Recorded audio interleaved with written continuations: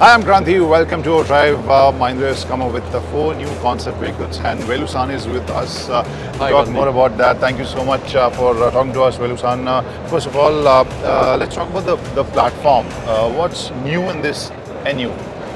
So we explained that this platform comes with uh, multiple new concepts.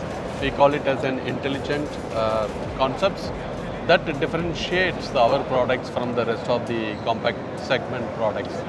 So number one is the space uh, that we liberate.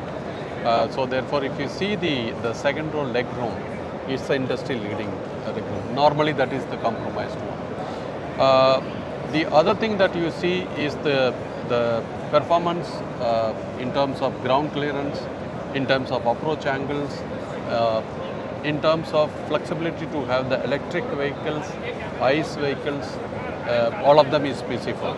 Because we have raised the ground clearance for the Indian market, we wanted to have the best ride quality, so we are bringing in the five-link suspension.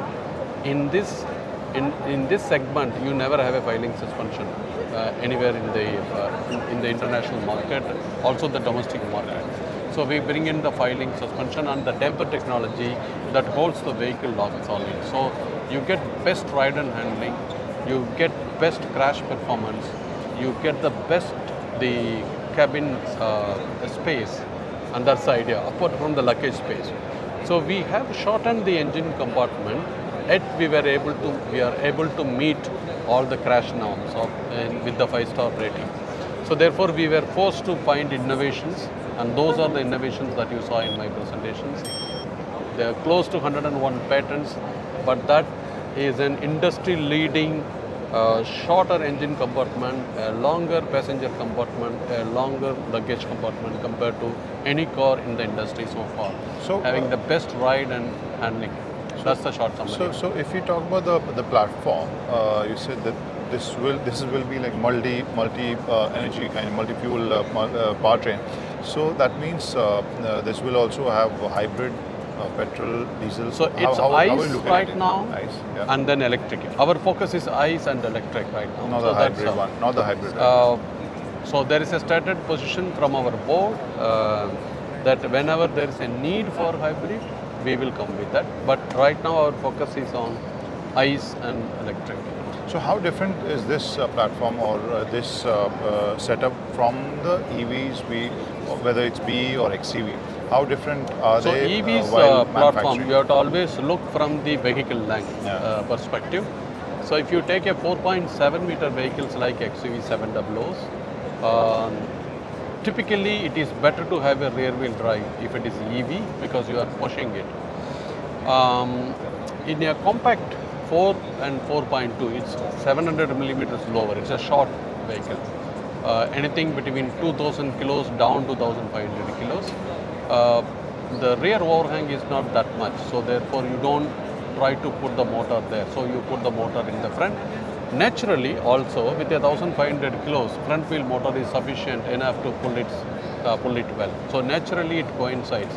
So in the front engine compartment, either either you can put an engine or you can put an uh, ICE uh, ICE engine and an electric engine that you can put in. So therefore, it coincides there.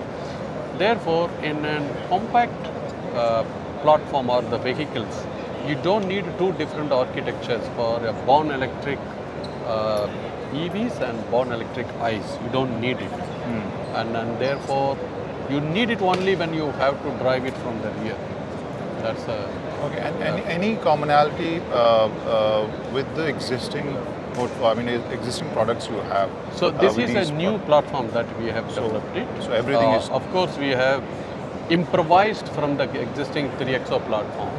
Uh, but the, the, the 3XO platform was designed about 12 years ago, uh, where the modern crash norms of uh, ANCAP, ENCAP, GNCAP are beginning to come at that point in time, and, and therefore this platform considers uh, way different approaches to meet those norms and, and therefore the structures.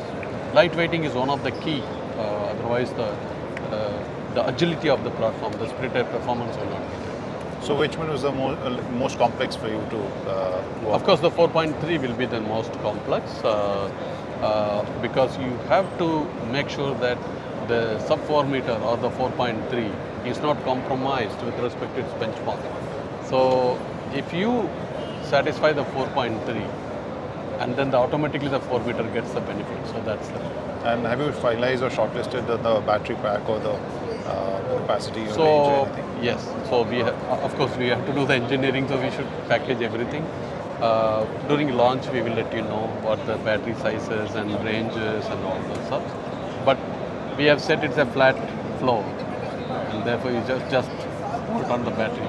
Right.